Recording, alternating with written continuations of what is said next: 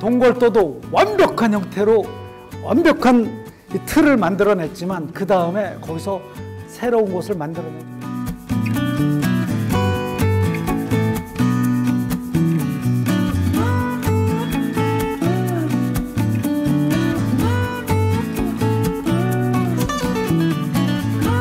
기본이라는 것이 사- 사람이 접근할 수 없는 데 가서 사실은 이제 볼 수 있게 해준 게 하나 큰 기능이고요. 그다음에 이제 그걸 가지고 아, 이 건물들이 아, 어떤 상태가 되는지를 할 수 있는 부분